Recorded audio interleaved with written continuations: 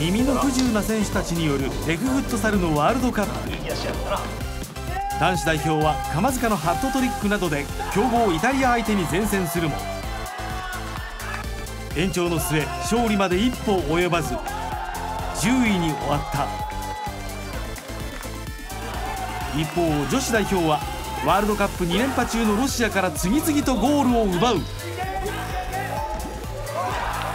前回大会の6位から順位を1つ上げ史上最高となる5位となった。おめでとう。ありがとうございます。世界一を目指してるってこうみんなに言ってたんで最低限最低限の責任を果たせたっていう気持ちでいっぱいです